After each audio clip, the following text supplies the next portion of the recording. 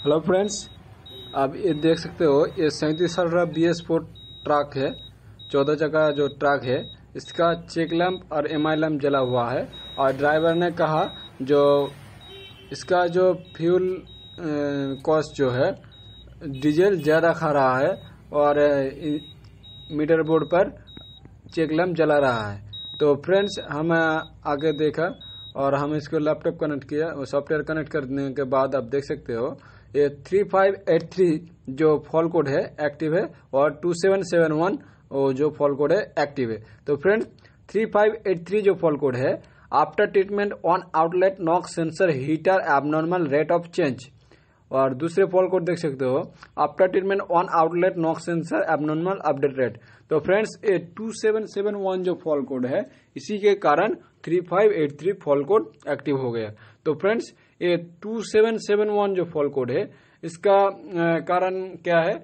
जो knock sensor है, knock sensor में चार वायर लगा रहता है। चार वायर में एक वायर पर 24 वोल्ट और एक वायर में तीन वोल्ट और एक वायर में दो वोल्ट सिग्नल वोल्टेज मिल रहा था और एक ग्राउंड था। तो फ्रेंड्स, ये जो 2771 फॉल कोड है, इसमें 24 वोल्ट मिल, ना मिलने से, ये वह लूज कनेक्शन की वजह से, ये फॉल कोड एक्टिव हो जा रहा था। तो फ्रेंड्स, ये सब, बाकी सब जो फॉल कोड है, इनएक्टिव है। ग्यारह, सत्रह, दो सौ इकचालीस, उनचास, अड़चालीस।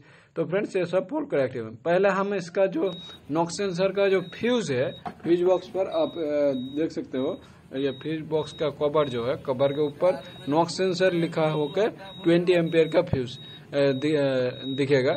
तो ये फ्यूज होकर नॉक सेंसर पर ये कनेक्शन जा रहा था। चौबीस वोल्ट ए जाएगा। तो फ्रेंड्स ए, हम पहले फ्यूज को देखा तो फ्यूज ए कटा हुआ है। तो फ्रेंड्स ये फ्यूज कटा होने के वजह से इसका जो 2771 फॉल कोड एक्टिव हो गया। तो फ्रेंड्स हम पहले इसका जो फ्यूज है नया फ्यूज डाल लेते हैं। तो फ्रेंड्स ये आप देख सकते हो ये नया फ्यूज डाल दिया 20 एम्पियर का।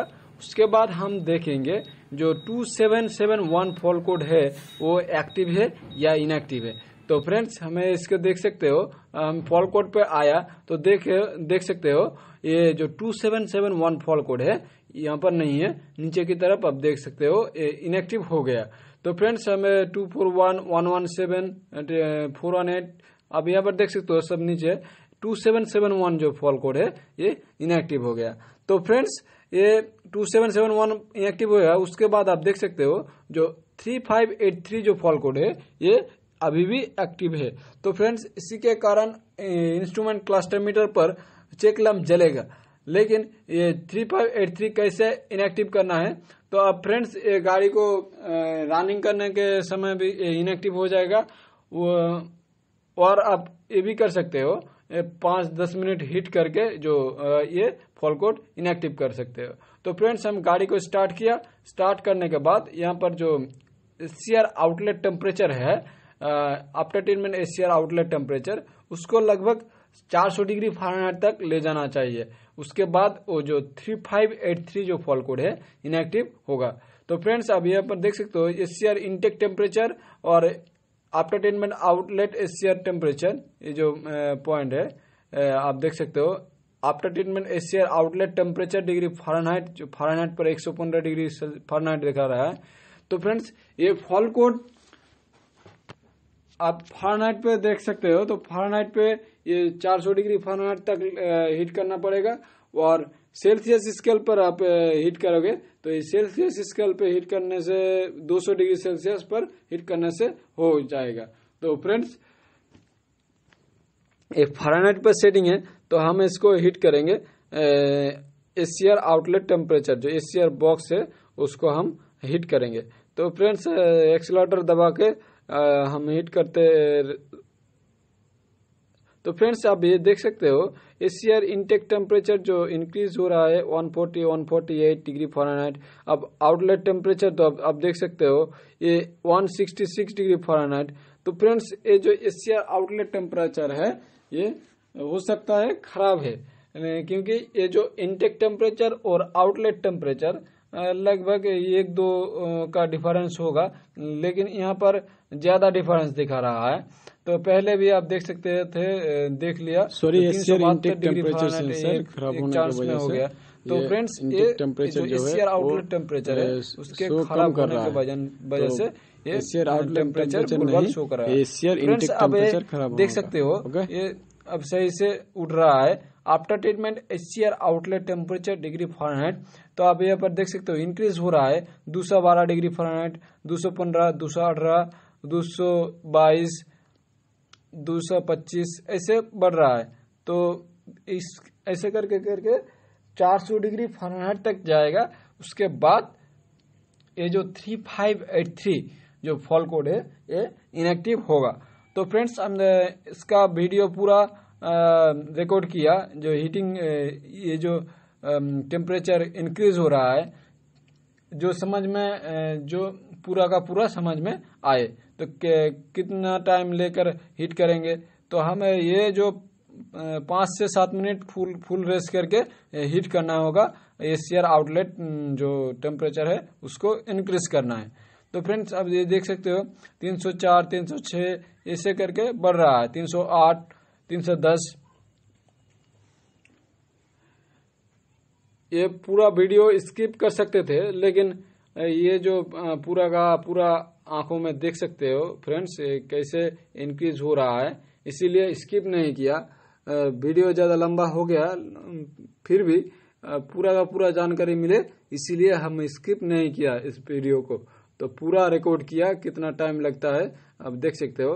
तीन सौ बत्तीस, तीन सौ चौंतीस, ऐसे करके इंक्रीज हो रहा है टेम्परेचर एशियर आउटलेट टेम्परेचर जो है, वो इंक्रीज हो रहा है। तो फ्रेंड्स तीन सौ अड़तीस, तीन सौ उनचालीस, तीन सौ चालीस, ऐसे करके बढ़ रहा है। तो अब देख सकते हो, तीन सौ पैतालीस, ऐसे करके बढ़ रहा है। तो SCR intake temperature signal voltage जो है थ्री पॉइंट वन वोल्ट देख देख सकते हो।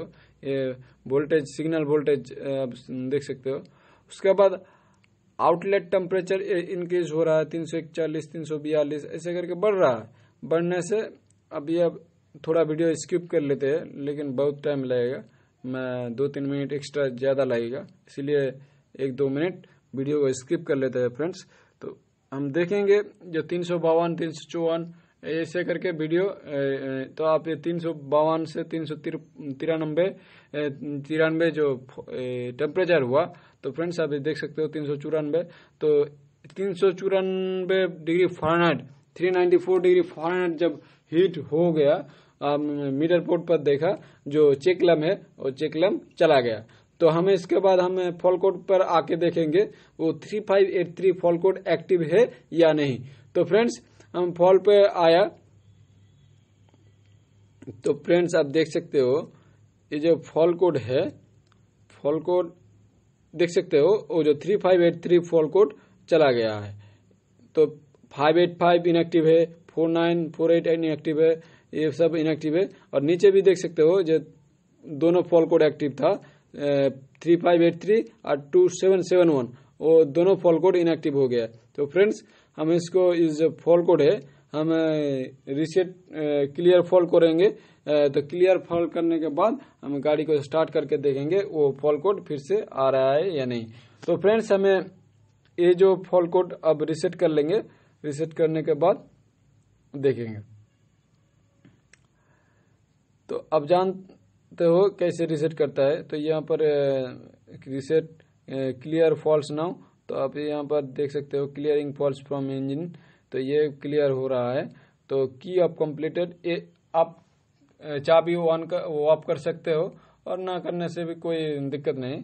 तो आप क्लिक कर देना है की ऑफ़ कंप्लीटेड पर। यहाँ पर थर्टी सेकेंड वेट कर लेना पड़ेगा। तो थर्टी सेकेंड के बाद आपको की अलाउ करने के बोलेंगे। तो फ्रेंड्स हम तो चाबी आप बंद कर सकते हो और ना भी कर सकते हो ओके तो तो ये सात सेकंड छः सेकंड पाँच सेकंड चार सेकंड तीन सेकंड दो सेकंड एक सेकंड हो गया। उसके बाद आपको चाबी वन करने कह रहा है। तो हम इसमें क्लिक कर लेंगे। क्लिक करने के बाद फॉल कोड देखेंगे। तो key off completed key on completed हो गया। और रिकनेक्टिंग द ई तो ईसीएम पर रिकनेक्ट हो रहा है। तो फ्रेंड्स अब यहाँ पर देख सकते हो फॉल्स क्लियर सक्सेसफुली तो फ्रेंड ये यहाँ पर जो फॉल कोड था, सब कुछ क्लियर हो गया। तो फ्रेंड्स हम फिर से भी फॉल पे देखेंगे। फॉल पे क्लिक करके देखेंगे कोई फॉल कोड एक्टिव है या नहीं। तो फ्रेंड्स, यहाँ पर देख सकते हो, नो फॉल्ट फाउंड।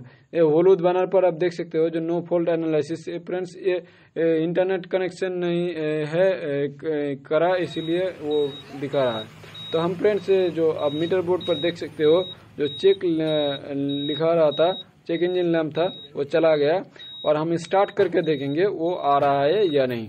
तो फ्रेंड्स, हम गाड़ी को स्टार्ट कर लेते हैं। तो स्टार्ट करने के बाद हम देखेंगे। तो ये अब सब कुछ सही है।